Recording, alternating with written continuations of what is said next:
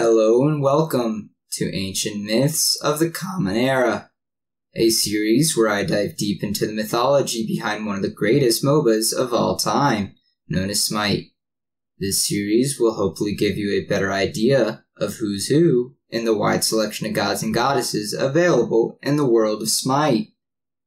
In today's video, we are going to talk about Freya. So let's get started.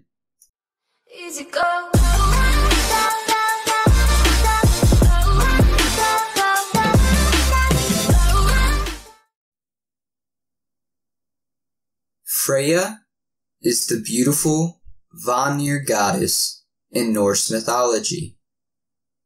She is described as wearing a necklace called Brisingamen and keeps the born named Hildisvini by her side always. She rides in a chariot pulled by two cats and owns the cloak called Valshmir, which is a cloak made from falcon feathers that grants one the ability to fly. Her brother, Freyr, and her are born of Njorver and Njorver's sister. A bit taboo if you ask me. She is married to Over, and with him she has two daughters, Hnoss and Gersemi. Freya often assists other gods by supplying them with her feathered cloak, Valsamir. One such story occurs when Thor is forced to dress as a bride for a Jotun. One day, Thor woke up and found that his mighty hammer, Mjolnir, was missing. He frantically ran to Loki for help and told him that no one else knew of Thor's loss. The two gods ran to Freya's court to ask for help. Thor asks Freya if he may borrow her cloak of falcon feathers, Valshmir. Thor asks this of her so that he may more easily search for his hammer. Freya says she would lend it to him even if it were made of silver or gold. Loki put on the cloak and flies off in search of the mighty hammer.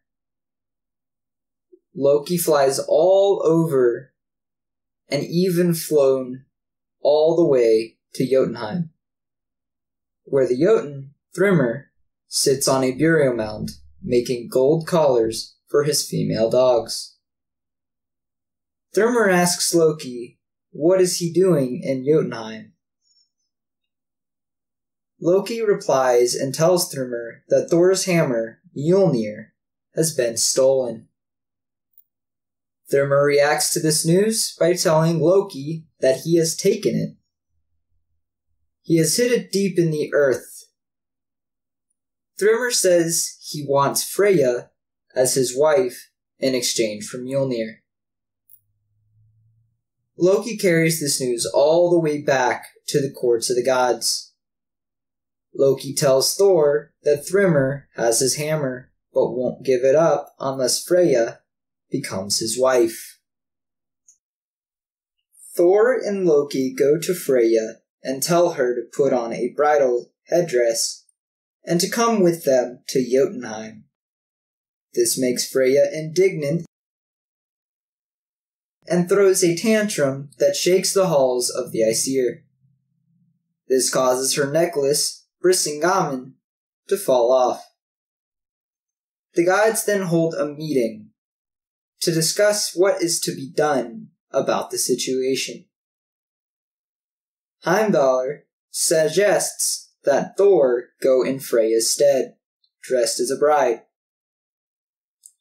Thor becomes outraged at this suggestion, but Loki convinces him to agree by telling him that if he didn't, the Aesir would be threatened with invasion by the Jotun. Thor agrees and is dressed up by Freya to look like her. Loki was also dressed up as Thor's maiden. Or should I say, she Thor.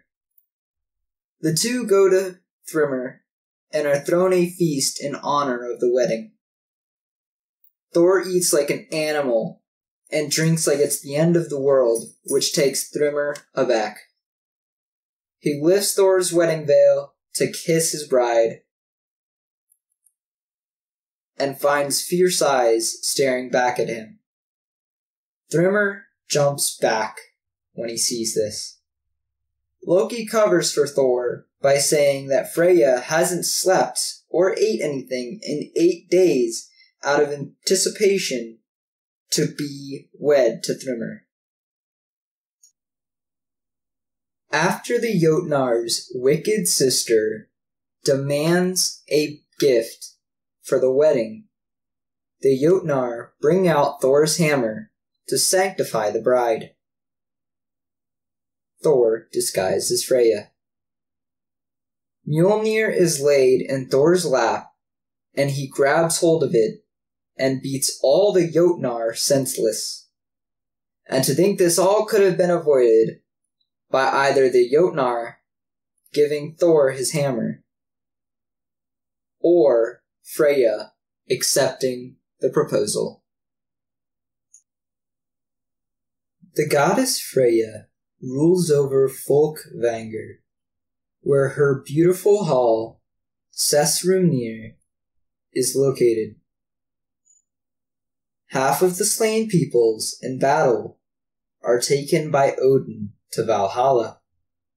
The other half are given to Freya to watch over in her afterlife paradise, Folkvangr. The dead are called the Einherjar and are said to be led into battle by Odin himself during Ragnarok, the end of the known world, followed by its rebirth and its resurrection.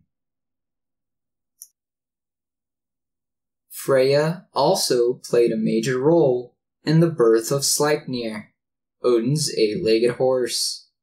You see, after the gods established the realm of Midgard, they decided that they needed to fortify it against invasion and attack. An unnamed builder offered to build such a fortification in exchange for Freya, the sun, and the moon. The gods agreed, but with some major restrictions. The gods told the builder that he had to complete the fortification within three seasons' time. As if that wasn't already impossible enough, they told him that he could have no help from any man to build the fortification. These restrictions were set in place because they did not want to give up the sun and the moon, and Freya did not wish to be this lower creature's wife. The builder agreed, but he wished to make a request first. The unnamed builder requested to be allowed to use his horse to help him. After Loki influenced the gods' decision, the gods agreed it was okay because a horse would not be able to help the builder win Freya and the sun and the moon. However, the horse proved to be capable of twice the work of the builder, and three days away from the summer deadline, the builder was already at the gate of the fortification. The gods met and blamed Loki and said if he didn't fix it, and stop Freya from being given to the builder, then they would kill him. Loki became frightened and came up with a scheme. Loki shapeshifted into a mare in Estrus, bwah bwah bwah bwah, and lured Svadilfari, the builder's horse, into the woods. The builder chased after them, and all the momentum for the work was lost. The Aesir, or the gods, found out that the builder was a Jotun. And the Aesir hate the Jotun and also are sore losers. So they had Thor kill him. And Loki, after his little interaction with Svalbard in the woods, gave birth to Sleipnir, an eight-legged gray fowl, or baby horse, that eventually became Odin's steed.